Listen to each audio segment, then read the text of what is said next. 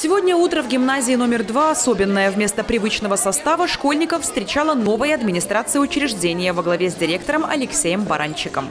Готовиться мы начали за две недели, чтобы все успеть, э, назначить учителей, распределить должности, но было нелегко. Все учащиеся достойны своих должностей, потому что подбирались они с учетом как бы интересов всех учащихся, которые занимают э, должности заучей. Ежегодно в гимназии проходят дни самоуправления, и на один день старшеклассники входят в роль учителя мечты. Такую ответственность школьникам, конечно, доверяют учителя, заранее обговорив все детали. Перед началом началом дня ценные указания от отдыхающей сегодня администрации школы. После праздничный флешмоб, подготовленный школьниками ко дню учителя.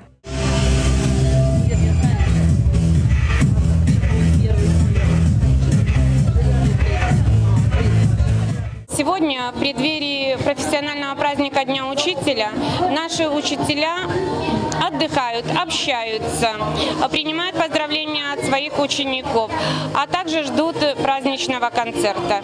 Святая святых учительская, пока педагоги делятся впечатлениями о новоиспеченной администрации утреннее совещание. Учителя-дублеры очень серьезно и ответственно отнеслись к своим обязанностям. После того, как теоретические вопросы решены, можно приступать к практике. Урок всемирной истории у девятиклассников сегодня ведет Аполлинария Кирбай, дублер заместителя директора по воспитательной работе.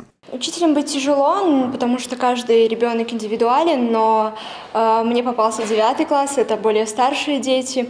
Э, с каждым можно найти общий язык, все ребята отзывчивые и пришли на урок готовыми. Слову, для ребят День самоуправления – это хорошая возможность попробовать себя в роли учителей и руководителей. Тем более в гимназии действуют профильные классы педагогической направленности, и многие старшеклассники уже определились с выбором будущей профессии, все прелести которой сегодня в полной мере ощутили учителя-дублеры, а их ученики получили отличную возможность заработать лишнюю десятку. Учиться в День самоуправления очень легко, потому что можно легко найти общий язык с учителями. Ну, также здесь учителя очень озорные, веселые и ставят постоянно хорошие оценки. Стоит отметить, что в канун Дня учителя уроки в школе сокращенные. Уже совсем скоро прозвенит звонок, и школьники соберутся в актовом зале, чтобы принять участие в праздничном концерте и поздравить своих педагогов с Днем учителя. Поздравляю с Днем учителя Надежду Александровну и всех других учителей с праздником. Желаю счастья и хороших учеников.